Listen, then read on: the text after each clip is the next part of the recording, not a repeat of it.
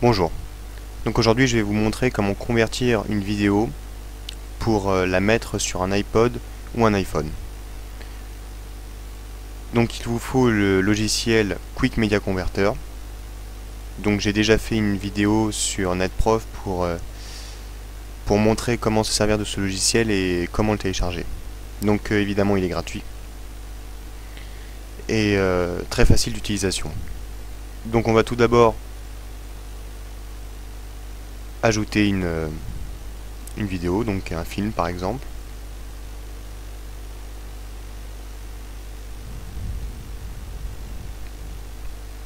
Une fois que vous avez choisi votre film, vous choisissez le répertoire de sortie, donc mes documents. Et enfin vous allez aller ici, donc dans format MP4 pour iPhone.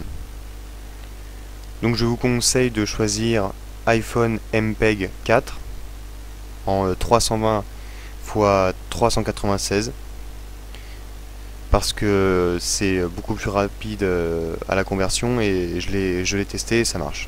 Donc je l'ai testé sur un iPhone 3G et euh, la vidéo se lit correctement. Donc vous faites ça et il vous reste plus qu'à lancer la conversion. Donc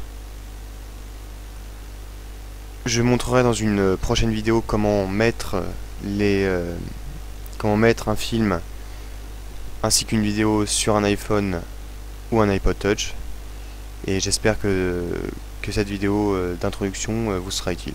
Au revoir.